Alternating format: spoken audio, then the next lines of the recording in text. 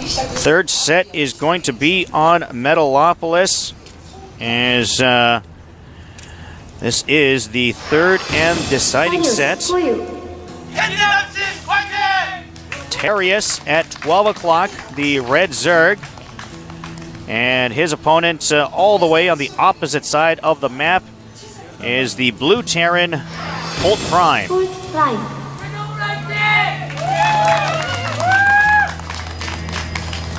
Fans from both players here in support. And uh, Metalopolis, the map, we had uh, Scrap Station, which uh, favored Zerg, Lost Temple, favored Polt Prime. And uh, now we go to Metalopolis. Uh, who do you like uh, for this map? Well, Met Met Metalopolis is pretty, actually, pretty good map for Zerg sometimes. And if you look at his spawn position this time, it's it's excellent for Zerg. Cross map means that they are absolutely farthest away from each other, so the Zerg can easily, safely fast expand. And this is what he's doing now. He's sending a quick drone scout just to see if the Terran is at the closest spawn position. And then if the Terran is not at the closest spawn position, he will fast expand. If the Terran was at his close, closest spawn position, he will do a spawning thing. But right now I think he's going to fast expand, and he's going to be very happy to find the Terran at the bottom, bottom spawn location right now. So right now, I give it a slight, slightly third favorite. Okay, our Zerg player is Terious. Just 17 years of age and living the dream as a pro gamer here in Korea. Fast uh, expansion first here for Zerg.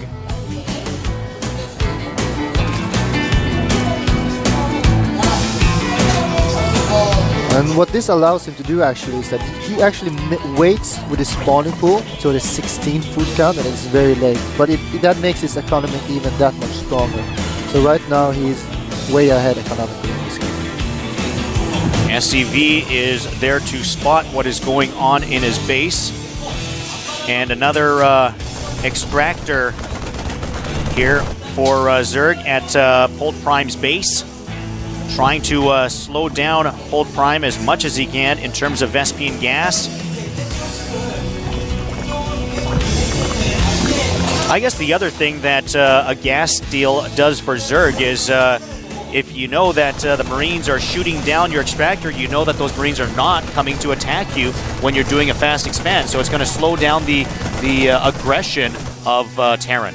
Yeah, I mean, obviously when you have a unit shooting at one of your opponent's buildings or on your building in his base, you know that he won't come to your base anytime soon, right? So, but I mean, that is a good thing if you play if you know that the other guy is going to try to rush you, right? But this time it's just I don't think so annoying. He didn't even cancel extractor this time, so I don't know. I think this time it was it didn't make any sense of actually doing it. I would rather save that drone and go for a, the most powerful economic opening I could like think of than do that extractor at the uh, just this game. But yeah. Polt Prime is uh, working on his second command center, so looking to uh, expand as well factory out as he's uh, training a Hellion. Wants to go mechanical early on. Tech Lab added on as well, and a Queen out to the expansion for uh, Terious. Uh, he's going basically the same opening that he did uh, in the second game, except that he's not going that fast starport with the Thor drop. He still expands after factory and he's trying to catching up with the Zerg when it comes to the economic battle. Uh, just hoping that that Zerg, uh, that he that he will get big enough push. Uh, he's going for a strong timing push, I think, around when the, the expansion kicks in and gets up enough units. Roach is out for Terious. So he wants to defend against the uh, Hellion uh, rush.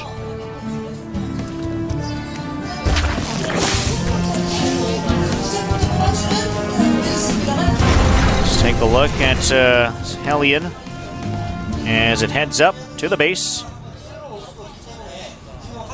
Just uh, one lone Hellion, avoiding the creep best it can. Three roaches chasing it away.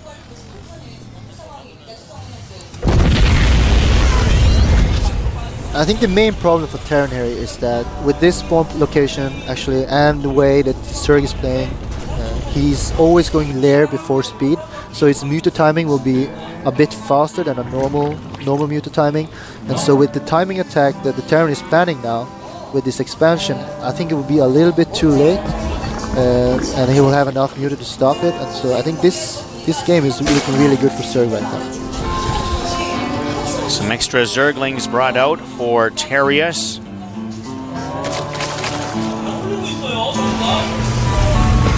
A lot of gas for Terious.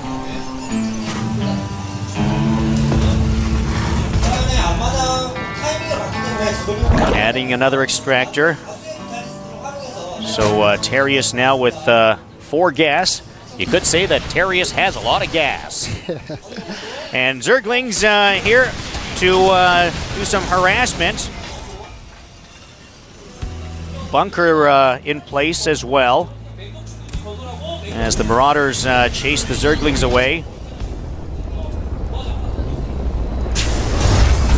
Engineering Bay added to the uh, box in.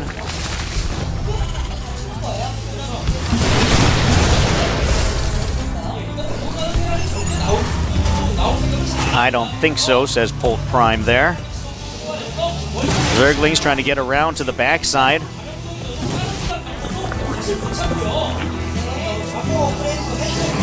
Baneling Nest uh, almost complete for Terious. Siege tank on the way down for Polt Prime.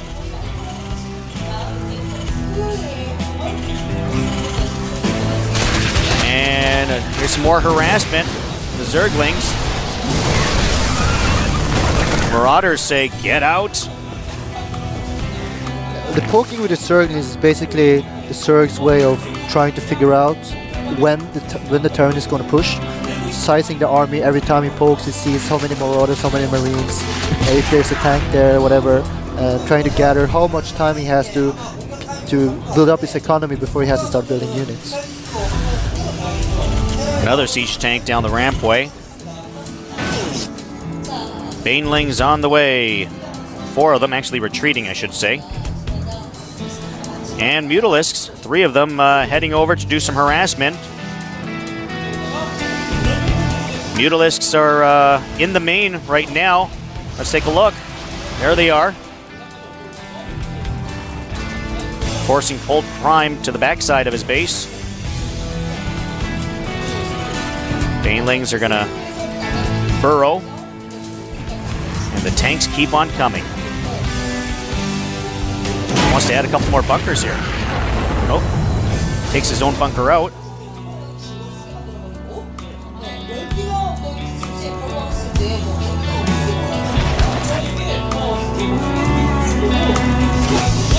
When Polt Prime, uh, I mean, Polt Prime just destroyed his own uh, bunker. Do you think uh, that was something that uh, he has planned in a game like this, or no, something no. that he realized? Okay, wait, I want to move my bunkers outwards, and in order to do so, I have to take this one out.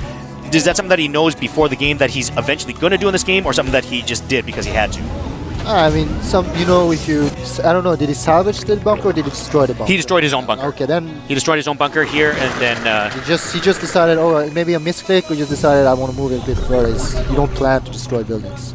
You can just plan to salvage a bunker, but just to flat out destroy it, is, that's either a misclick or is that uh, just change his mind. another hatchery on the way for Terious. Lot of uh, siege tanks there.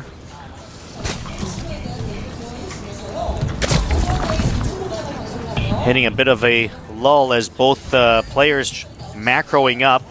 We've got uh, three bases along the top part uh, for Terious, uh, just two for Polt Prime. Of course, from a Zerg perspective, you always want to be at least one ahead. Oh, oh,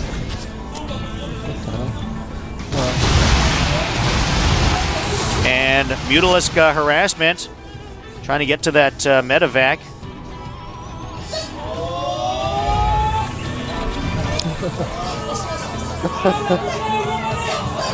He's Wow. they're standing up on two banelings. Wow. and here comes. Oh boy. Oh, and no. yeah, there are the banelings there. There's two more right there, surrounded by them. Does not want to uh, tip his hand just yet.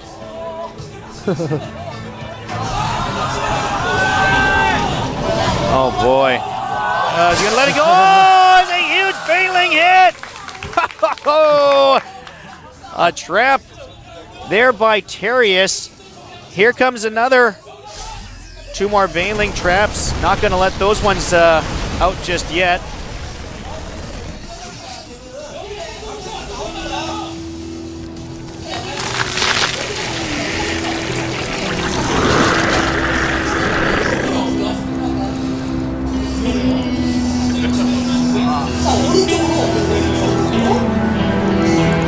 Another expansion down at uh, 8 o'clock. Terious really building up a, a big army here. And it looks like he's going to try to go and defend. A lot of Banelings here. Chasing after the Marines. Oh, is he going to get the Marines backing up? All the Marines pretty much gone. And now just Mutalisk chasing them down. Couple of Marines, couple of Marauders, all that's left from that army. Another set going towards the main here. Baneling's there to defend as well, though. Walking into a bit of a trap here. And this map is being dominated by creeps everywhere.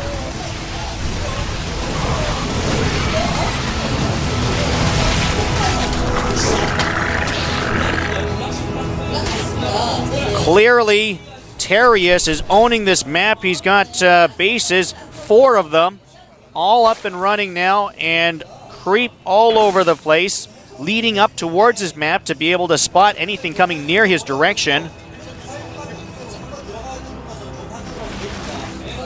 And he's getting heavy upgrades on his ground units, and he's getting a sizable muta army, so this is looking good. I mean, four versus three bases, and the third base for the Terran has not been running good right up until now, right? Anyway, so should be fine. Boom. Terran's trying to expand to uh, 5, five o'clock and more uh, harassment there. Ultralisk Cavern on the way for Terious. Usually that's not good news for Terran. Everything this and it, the, the, only thing the Zerg needs to do right now is keep poking that third base of the Terran, not doing any attacks, just keep the keep the income of the third base in turn as low as possible while just taking up tier 3 units, getting his fourth, fifth base up and running. Oh, there's the Baneling trap. And the important thing also with that Baneling trap is it tips off uh, Terious that he knows that uh, this attack is on the way. He's going to be ready for it. And speaking of which, here's the uh, army from the backside, by the way, as he's expanding again. I'm really missing the the infestors from game one. I mean, that would be huge right now. Have a couple of infestors in the mix, but I mean... A ton of Zerglings. Big splash damage there. Wow. Huge splash damage for Polt Prime as he took out a, a chunk of uh, Zerglings that never even got close trying to attack the uh, 11 o'clock base right now is Polt Prime doing a pretty good job of it. And it looks like uh, the hatchery is going to fall.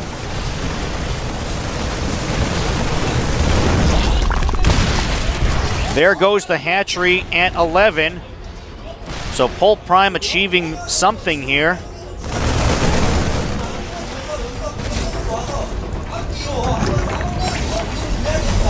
Well, if you look at the food count, Zerg is up by 10, but that doesn't mean anything against the Terran ball that is out there. It's very scary when you have a Terran ball of so many siege tank and marines. There's very little the Zerg can do. Right now, he needs to get some more tech units up, infestors, ultralisk, or do a counter attack on the Terran's third. This is right. This is what the Zerg does right now. Is giving the game to Terran actually, being playing too passive. Slowing down. He's lost his base over at 11. Ultralisk Cavern is complete. So the Ultralisk should be coming out soon. That'll aid a little bit in uh, trying to uh, break down that pack. And here comes another attack here. Baneling's trying to get in. Baneling's taking out all the tanks. And a good attack there by Terious. Now this is what he needs to do. He needs to poke at the Terran army where they're not sieged. Do not engage the Terran army that is like fully sieged and fully fortified. And now he's going for the third while he's getting killed, his fort is getting killed. And that is perfect. This is the way you have to face Zerg. Do not engage the Terran main army. Just go for the go for the sucker punches. Baneling drop here at the 5 o'clock expansion. Not necessarily terribly effective. Meanwhile, uh, Zerg Terious has uh, lost his his 8 o'clock base. Loses one siege tank to those Mutalisks. Go, go, go, go. And here he comes! Getting in pretty close. Baneling's now on the top. Zerglings from the backside on the tanks, and he should get all these tanks. Oh, a clean sweep of the entire army! And that might be the turning point. A huge, huge play there for Terious. And this command center is probably not going to see much more time.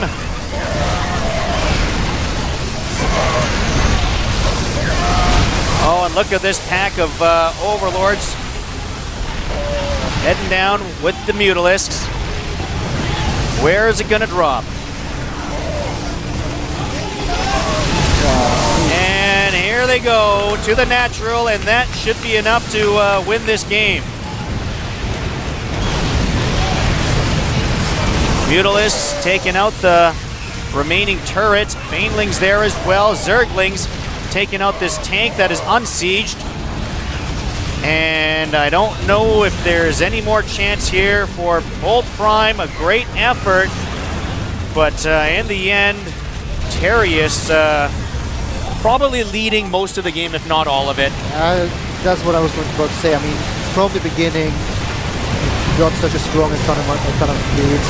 He was lucky with his spawn positions. He was lucky that the, the Terran didn't do anything early, even though so he could abuse it by going a later pool than usual. You get a lot more draws than usual. He get his third base faster. He got his lair type faster. Everything the Zerg was one step ahead of Terran all the way. And in the end of this game, he's going to be one step as well. Zerglings, Roaches, and Mutalisks all there. Um, I don't know if I've even seen the Ultralisks yet. Uh, he's making like five right now, but that's just rubbing it in kind of. Yeah, there's probably not even going to be a need to see it. Uh, this game is over. Uh, we should see a GG any moment here from uh, Polt Prime.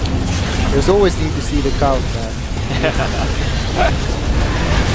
well, just all sorts of damage here. I think this is all anticlimactic by uh, this time now. There's the Ultra Ultralisks. As uh, this game is over, let's see uh, how Polt Prime is going to make his exit. And that is fully upgraded too. Wow. Scary, scary.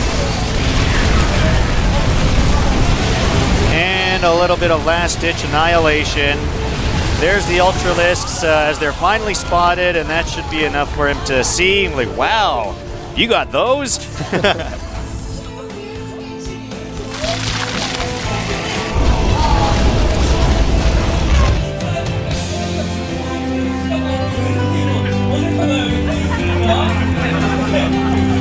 Well, I don't know uh, if there is anything that uh, can do.